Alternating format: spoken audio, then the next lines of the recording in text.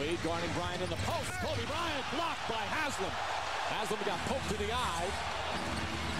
Wade kicks it back out. Chalmers. Haslem now starting to come. Wade inside Anthony. Strip but foul. As Fisher picks up his third. And Joel Anthony will go to the line.